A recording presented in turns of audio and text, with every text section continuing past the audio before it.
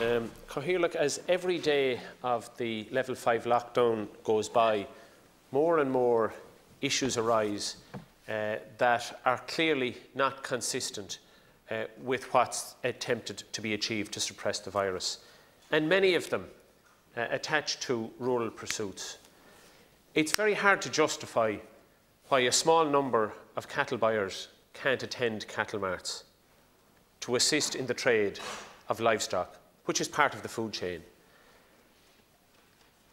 Rural men and women who are interested in hunting, who this time of the year will take their gun and their dog to shoot a pheasant, mainly alone, sometimes with one or two others, out in the wild countryside. There are other issues too around hare coursing. Again, a couple of men, a couple of women, and their dogs.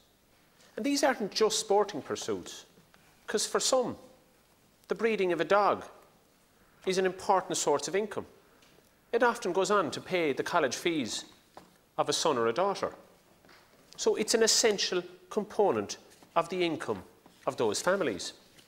But yet, with the wave of a hand or the stroke of a pen, certain people around government and within NPHET seem to suggest that it's better to suppress everything for the greater good of all